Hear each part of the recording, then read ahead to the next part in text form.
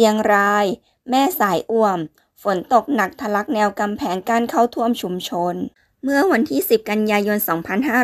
2567 ผู้สื่อข่าวรายงานว่า สืบเนื่องจากอิทธิพลของพายุยางิทำให้เกิดฝนตกหนักช่วง 3-4 วันที่ผ่านมา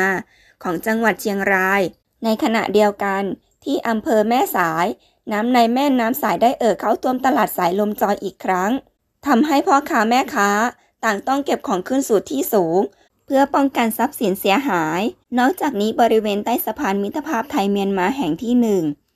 พบว่าน้ำได้เอ่อล้นตลิ่ง ทะลักแนวกั้นกำแพงเข้าท่วมชุมชน ที่อยู่ติดริมแม่น้ำสาย ไม่ว่าจะเป็นชุมชนสายลมจอย ชุมชนเกาะทราย ชุมชนเกาะสวรรค์ ชุมชนไม้ลุงขน ชุมชนเหมืองแดง และชุมชนอื่น ๆ ที่อยู่ต่ำลงไป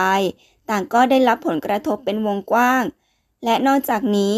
น้ำยังคงมีจำนวนสูงขึ้นเรื่อยๆ จึงทำให้เจ้าหน้าที่การไฟฟ้าต้องเข้าไปตัดกระแสไฟฟ้า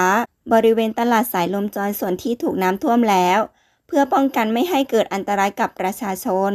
ต่อมาทางด้านเทศบาลแม่สาย ฝ่ายปกครองอำเภอแม่สาย และหน่วยงานที่เกี่ยวข้อง